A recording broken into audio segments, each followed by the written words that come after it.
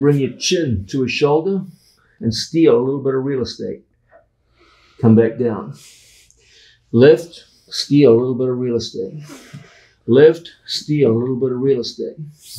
Steal a little bit of real estate until his elbow is on your shoulder.